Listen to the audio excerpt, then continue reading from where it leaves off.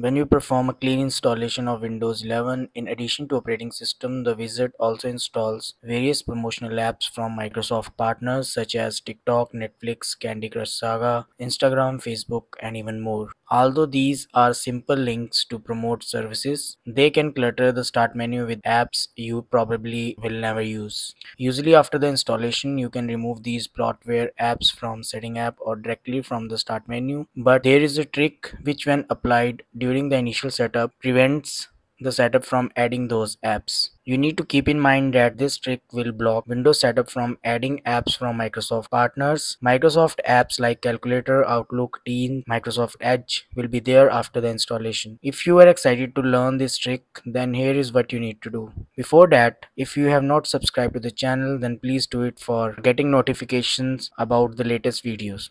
During the installation, when you reach Windows setup screen, in the time and currency format, select English World and click next.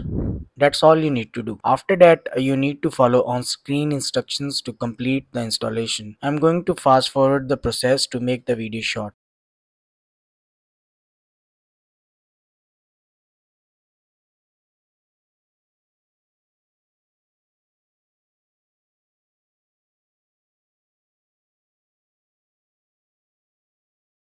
When you see OOBE screen, you will see this error message which reads something went wrong, try again or skip. Just ignore the message and click on the skip button and keep following the on-screen instructions. Again, I'm going to fast forward the video.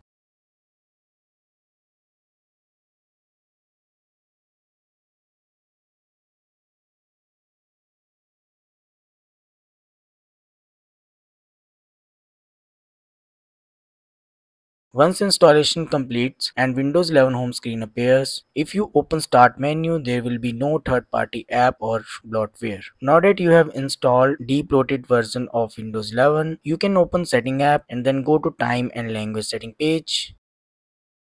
Here change the region depending on your choice. As simple as that. Right now this trick works 100% but there is possibility that Microsoft may patch this loophole.